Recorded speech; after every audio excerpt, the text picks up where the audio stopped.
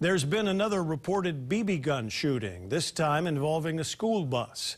Last week, Honolulu police told us there were more than a dozen BB gun shootings in a month. Someone was arrested on Friday in connection with one of the cases, but was released after posting bail.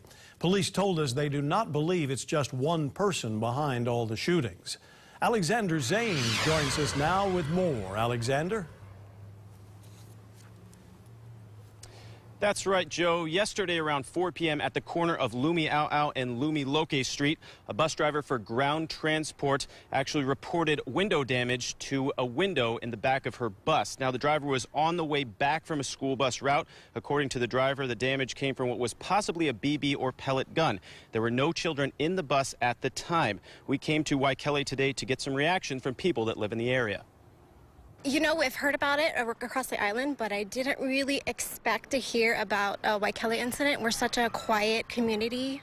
There's never really anything that happens here. So it's really shocking to hear that something like that could actually happen in our own neighborhood, too.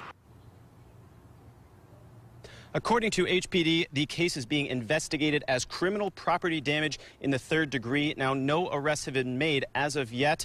If you have any information, please call Crime Stoppers. I'm Alex Zanes reporting live, KHON 2 News.